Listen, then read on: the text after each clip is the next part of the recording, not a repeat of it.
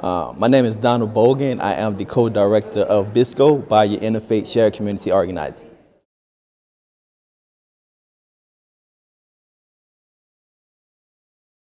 LA Safe is an initiative in Louisiana and it mainly targets community members, bringing them together to work on coastal land loss issues and flooding issues.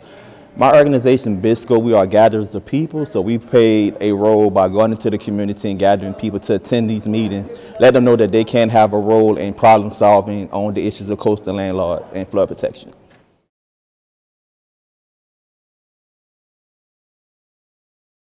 I think one of the major successes of the LA Safe initiative is the fact that they was able to bring the community together, to have the community vote on the plan, and to actually have that plan funded.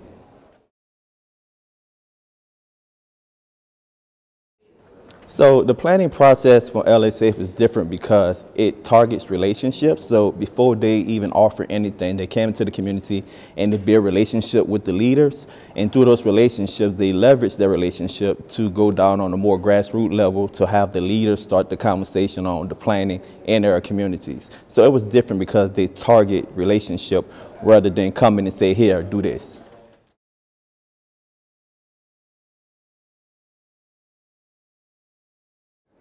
So I think LA Safe model can be um, used not only statewide but federal-wide because oftentimes politicians, because they're say they're fighting for us, they don't really have time to put into the work on the grassroots level and forming those relationships. Where this creates an avenue where you can put everyone into the room, you can educate your constituents, and your constituents can also help leverage those wins you're fighting for.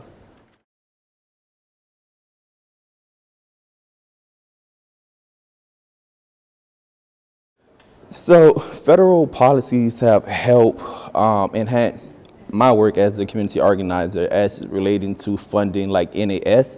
Um, there was a program that I was part on that we was partially funded for to help create citizen science. And what that is, citizen scientists are individuals who go out and they work with the experts and learn how they can take water samples, air samples, and just making people aware of their environment.